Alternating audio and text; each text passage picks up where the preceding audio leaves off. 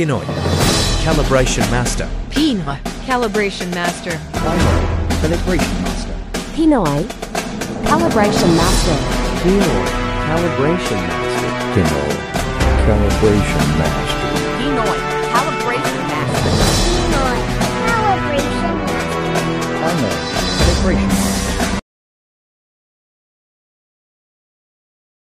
Magandang araw mga master, magka-calibrate ulit tayo ng analytical balance.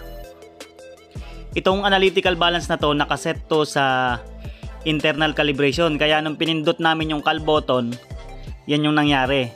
Nag self calibration siya. Ngayon ang gagawin natin external. Gagamit tayo ng test weight para makalibrate natin siya external. Yan tapos na.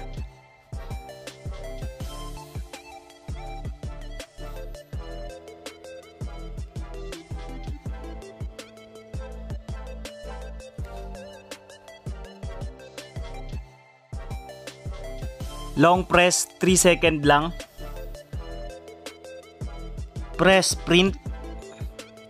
Then unit. Pipili tayo dyan. Yan, piliin natin ang ecal. Tapos, tear natin, lalabas ang set. Tapos, saka tayo lumabas ulit. Tapos, pag lumabas tayo, press na natin yung cal.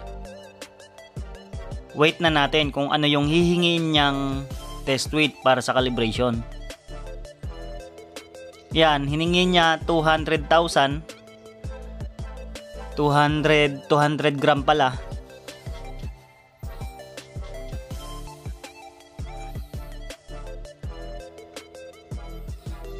Tapos yan, ina-absorb na yan yung 200 gram na yan.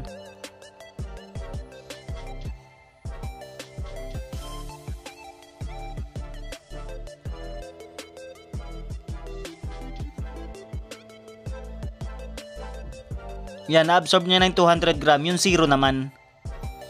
Yung zero naman ang i-absorb niya. Kaya kailangan nating tanggalan siya ng test weight sa pan.